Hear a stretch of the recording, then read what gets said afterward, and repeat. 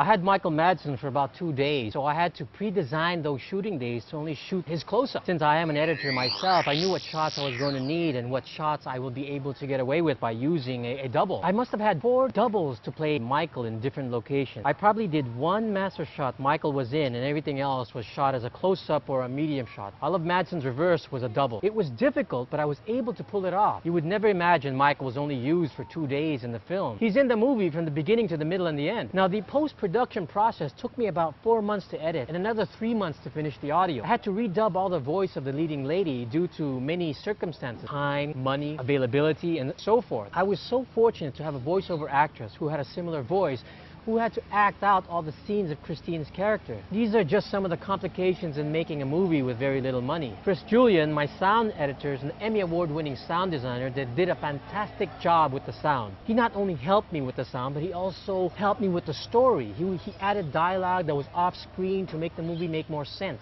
The stunt scene was the most scariest to do. I had more concern for Vinny Verone, who was doing his first high fall from a four-story house. It's just nerve-wracking to do a stunt and, and something goes wrong and I would be responsible for it. I had two stuntmen do the high fall. Ken Lesko, a veteran stuntman, who did the first fall, and Vinny Verone, who did the second fall. There was a part of me that wanted to stop the second stunt that Vinny was going to do. As Ken Lesko told me, the first was good enough. But Vinny was so set in doing it that when I asked him not to do it, he insisted he had to do it. So I honestly did it for him. Fortunately, everything went smooth and no one was hurt. Each film I do, I get better and better as a storyteller. I just hope for one day I make a box office hit movie, and that is my aim. And so I'll keep making movies until I do make one that's going to be a box office hit.